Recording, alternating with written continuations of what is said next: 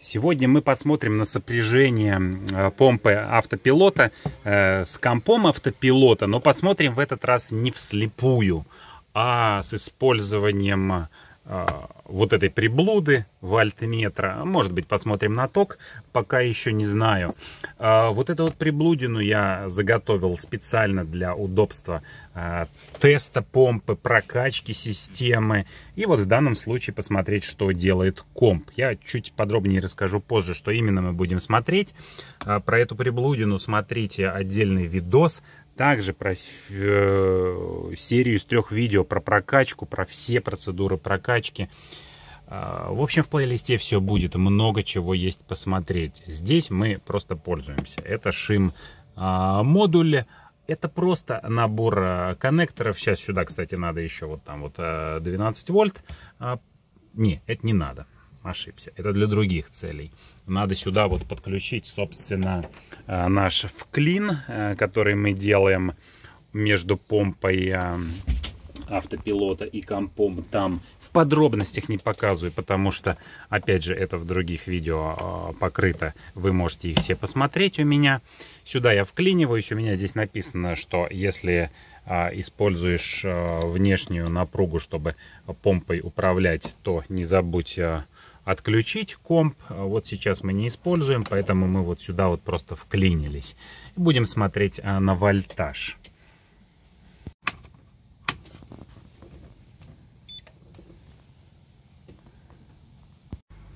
И в реале часть а, комиссионинга это та часть, которая по настройке виртуального рудер-фидбэка. То есть в автопилоте, в installation, док-сайт у нас виртуальный рудер фидбэк, то есть у нас нет а, рудера. Это будет называться VRF Calibration. Автопилот Dockside Commissioning. Первым пунктом он предлагает э, просто отцентровать колесо, чтобы был э, мотор по центру. Это я сейчас сделаю и переходим к Next.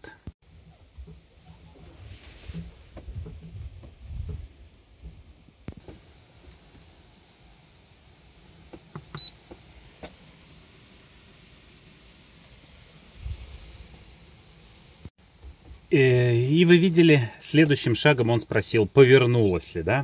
То есть он при, попробовал применить какую-то напругу, совсем маленькую. Я даже это не зафиксировал, не успел. Э, здесь тем более, точнее здесь тем более.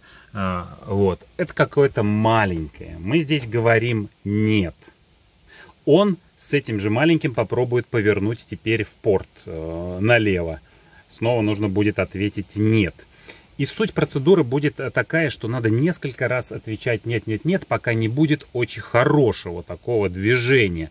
Так вот это вот хорошее движение, это применение вольтажа побольше. Я хочу посмотреть просто на то, а, какие конкретно вольтажи он будет при этом применять. Э, а, если мы ответим «да» при маленьком вольтаже, то потом начнутся проблемы, особенно на скорости. Ему не будет хватать сил повернуть мотор в принципе, как я потом выяснил, а, вот это вот дело, оно настраивается потом позже в процентах. Мы это, наверное, тоже потестируем. Ладно, не буду забегать, а то сейчас вам, наверное, непонятно. Сейчас я отвечаю, сейчас э, несколько раз буду отвечать нет и показывать э, здесь, э, там экран без комментов.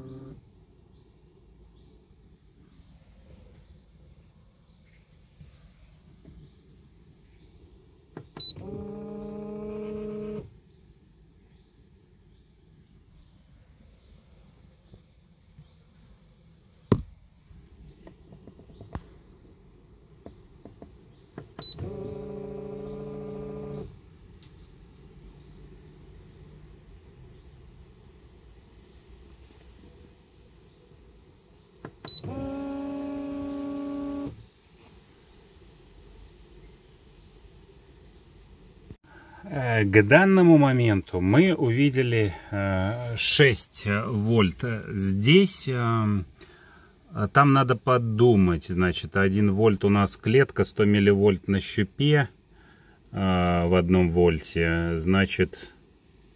А, ну ток-то. Ток-то нас сейчас не интересует. Вообще не интересует, да. Ладно, это просто так для интереса. Потом, может, какие-то вещи проанализируем. 6 вольт. А, в принципе, я, я не смотрел туда назад, куда он двигал. Сейчас вот он, по, по, получается, а, налево повернут. В принципе, вот в данный момент, когда бы я увидел а, а, поворот направо, старборд, то есть я бы уже ответил yes, не имея представления о вольтаже. И в реальности, а, когда я тестил этот э, рик, эту приблуду, по-моему, это в том видео, где я ее тестил, ну да, точно, не в этом. А, там я понял, вот здесь вот я настраивал проценты на этом шиме, там я понял, что в принципе вот 75% нам дает где-то 8 вольт, это, ну, такое окей, крутит он.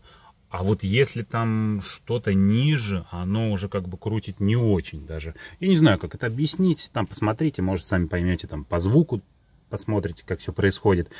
Поэтому я считаю, что нельзя отвечать yes при э, таком малом движении. А, давайте выводы о том, э, ладно, выводы сделаем попозже. Сейчас я хочу сейчас мне надо как-то и смотреть назад, чтобы увидеть поворот направо, и при этом э, снимать тут, увидеть, что происходит здесь. Я, наверное, просто телефон оставлю здесь, сам буду глазеть э, туда, смотреть на движение.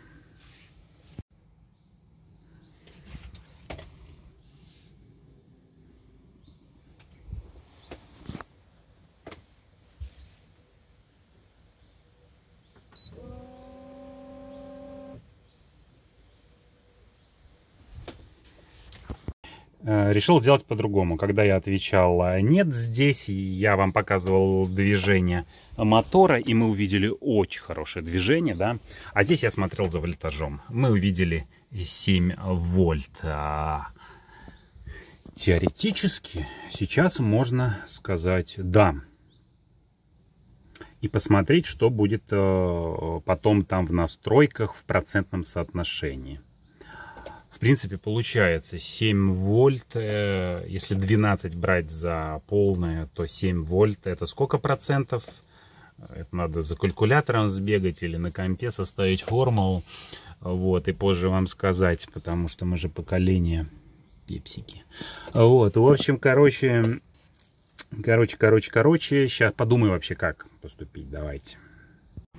58% что ли, да, получается 7 вольт, если 12 за 100. Давайте попробуем а, здесь ответить тогда yes, продолжить процедуру дальше, а потом пойти в настройки посмотреть, что происходит там. А, давайте.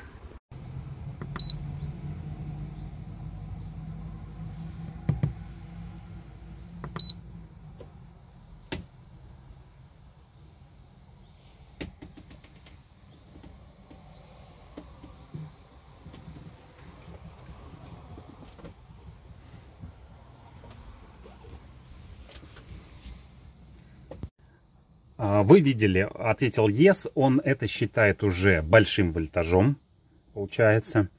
А, хорошо, да, мы подтвердили, окей, можно. Сейчас а, вот можно, кстати, упомянуть, да, то есть суть, почему мы хотим как-то там с вольтажом играться, а не просто всегда 12 рулить. Потому что, чтобы не было перегрева и расхода батареи. Все просто. Вот и все, в принципе. А, почему мы не хотим маленьким вольтажом? Ну, потому что ничего не будет получаться. А, значит, следующим шагом было, он предложил повернуть э, до упора направо, что я и сделал. А следующий шаг, это вот будет, что я должен держать кнопку и отпустить ее, а, когда он докрутит долево. Вот здесь вот будет очень интересно смотреть и на вольтажи, и главное на ток в упоре. Потом я должен буду кнопку отпустить, и он должен будет его докрутить ровно в середину. Если это не получится, то плохо. Смотрим.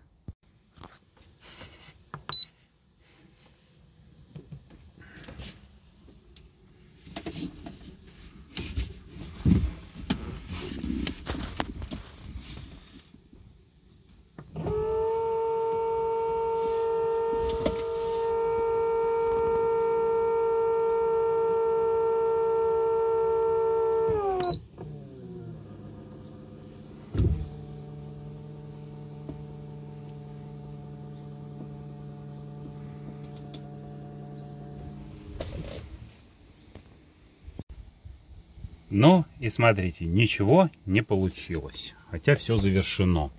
И мы видели аж 9 э, э, вольт, когда он крутил на одну сторону, и всего лишь 4, когда он пытался вернуть. Здесь мы что-то видели потоком, это надо будет мне на видео потом проанализировать. Сингл триггер я здесь э, не захотел настраивать.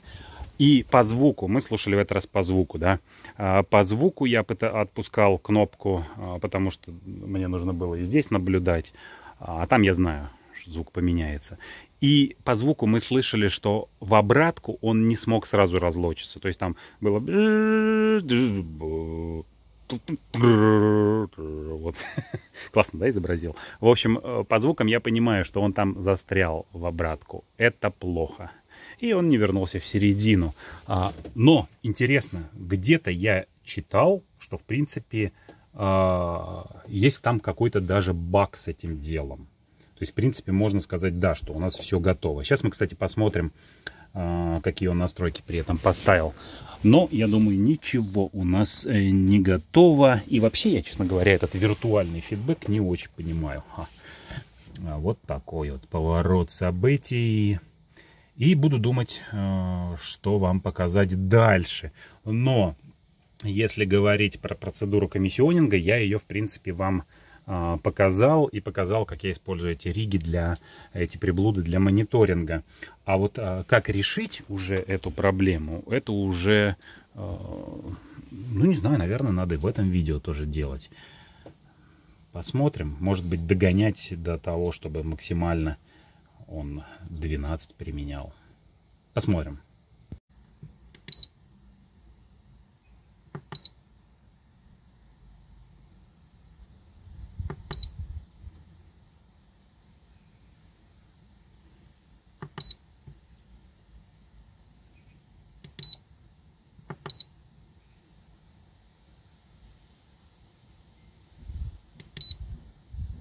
Вернулся с рыбалки, все потестил, пересмотрел записанное, понял, что надо делить, наверное, аж на три части.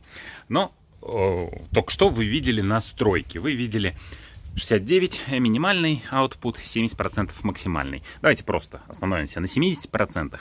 70% э, значит... Э, прикладывает вольтажа, грубо говоря. Ну, не грубо говоря, нормально говоря. Ну, там же широкоимпульсная модуляция, да, вольтметр не очень идеальный вариант это смотреть, но если бы я вам показывал импульсы, ну, мало бы кто, наверное, понял. Что мы видели, да? Мы видели при калибровке, значит, 70% он эти применил а, в одну сторону, а, значит, а, когда крутил. В порт, да, крутил. Правильно? Да. Вот. А в обратку он не применил эти 70%. То есть он не применил тот же вольтаж. Это баг. Я его четко вспомнил, что я о нем читал. А, тогда еще как бы слабое представление имел, а теперь я его увидел, и я точно знаю, что это баг. Ему будет посвящена вторая часть. Если вы подписаны, то получите уведомления. Возможно, я эти а, части одновременно опубликую. Но в этой части, как я вам уже упомянул, я показал саму процедуру, что она собой представляет. Можно ли с этим жить? Э, ну, давайте про спойлерю. Можно, да. Это, наверное, будет третья часть по поводу самого этого э, виртуального фидбэка. Э, о том, ну вот как все-таки там это правильно настроить центровальный центр, центр короче. А, значит, и также во второй части мы сделаем заключение о том, что же все-таки собой эта процедура представляет, вот э, какая ее основной сок ее, и можно ли, по-моему, я уже сказал, можно ли жить с тем, что мы ее вот так вот закончили, плохо. В общем, в этом это видео было посвящено самой процедуре, как она выглядит, что она собой представляет. И на этом все. Смотрите вторую, смотрите третью часть когда будет. Давайте пока.